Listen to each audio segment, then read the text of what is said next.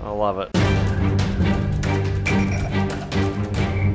G'day everyone and welcome back to the Warthog Project. Today's video is just going to be a really quick one. Most importantly to say goodbye to 2022 and to say thank you to the 50,000 subscribers we now have. I can't believe it, it's awesome. 50,000 is ridiculous. So thank you to everyone who likes and subscribes these videos. It's good to see that people still like a bit of um, cockpit building. It's not dead, despite what all the VR people tell you. Uh, I'm just going to quickly go over what I plan for 2023. So first thing that's going to happen is probably end of January, start of February. This whole thing is going to go in the hangar for a little bit. So I'm going to pull the entire thing apart. Screens coming out of this room, cockpits going out back into the garage, and the entire room is getting redone.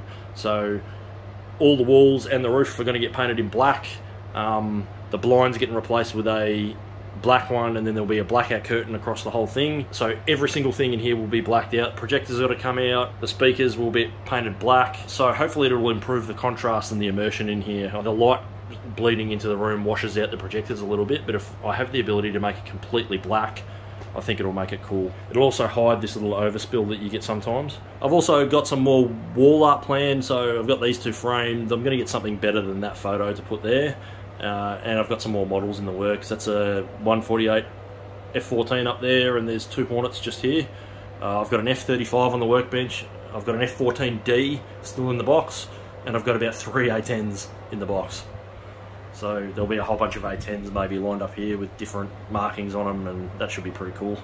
While the cockpit's out of the room, it's going to get a repaint. So there's a video that I'll link where I painted the whole outside of it in this green. I do like the green. I just don't think it really goes with anything else in the room. The thing I loved about it is the yellow markings, and it's just the angle that you're on. You never, you can't actually see them anyway. So it's going to get repainted as a Flying Tigers jet, just a standard grey A10. I'll put a whole bunch of combat markings on it, and then I'll probably put some some Flying Tigers teeth on the inside down there somewhere.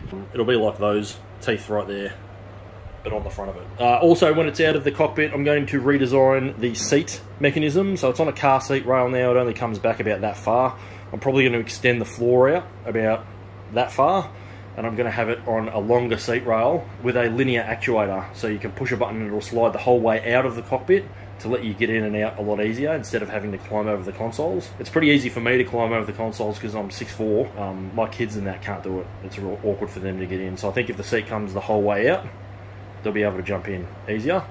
Uh, I'll put a button down here to actuate it and I'll put a button down on the front to close it. That's also being implemented so the seat can come the whole way back and then I can reach the beer fridge and get a beer out of it without having to get out of the seat. Uh, another couple of little things I've got planned. So I've, I found this really cool little trackball mouse. It's literally like two centimeters by two centimeters big.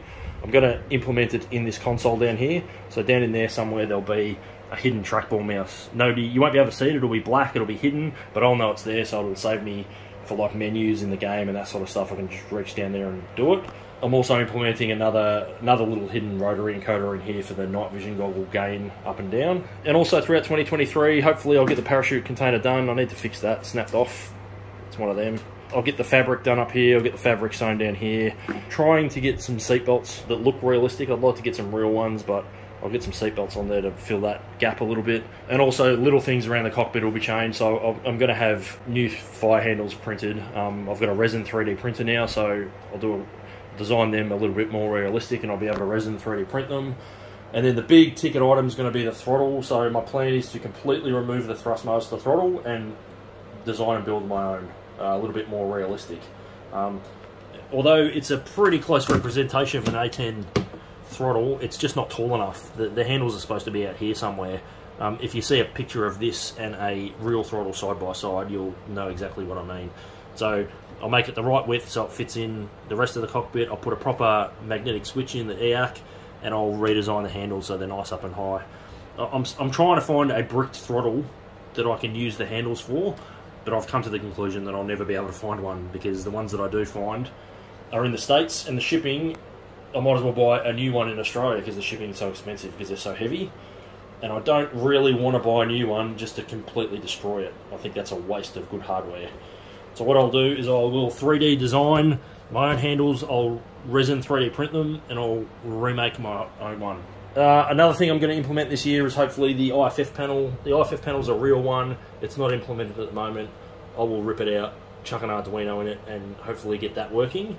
Anyway, that brings us to the end of this one. Again, thanks so much to all the people that have liked and subscribed over the last year. Can't believe we hit 50,000 subscribers. It's the coolest thing. If you had told me five years ago that I'd have 50,000 subscribers, I wouldn't believe you. You're all legends. I do appreciate you, and thanks very much for keeping me motivated to continue making this thing. The Twitch stream is awesome. If honestly, if I wasn't Twitch streaming, I'd probably be bored of this thing by now. But it's the community that makes it great fun. If you haven't followed me on Twitch, please come and do it. I play on public servers all the time. It's great to get a whole bunch of A10s or mix some other aircraft in there and we can all go out and cause some trouble. It's great fun. It also inspires me to drink more beer. I've also been streaming on Twitch a lot of Pavlov VR, Escape from Pavlov. It's a mod for Pavlov VR that makes it like Escape from Tarkov. It's the best. Please come and watch it sometimes.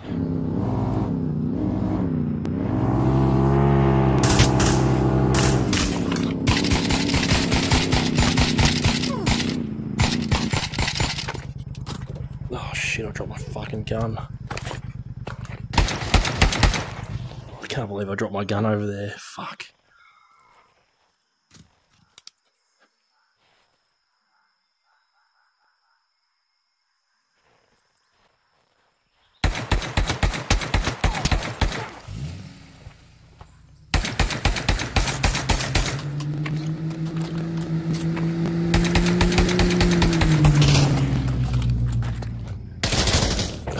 Good game, good game. So once again, thanks to everyone that subscribed, the absolute legends. I hope you all have a fantastic 2023, and I will see you all throughout the year. See you, legends.